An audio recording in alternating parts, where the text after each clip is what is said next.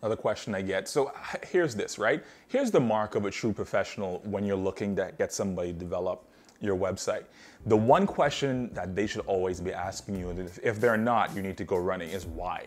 If they're not asking you why, why, why do you want a website? Uh, why do you want to do this? What your goals are? You need to run because all you're going to be doing is putting your business in the hands of an order taker and not an expert. An expert's gonna ask you why.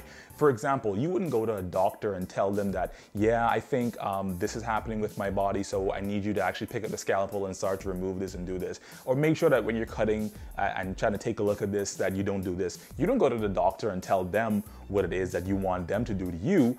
You actually go to the doctor to find out what's going on. And they ask you questions so that they can prescribe the best solution for whatever it is that you're feeling.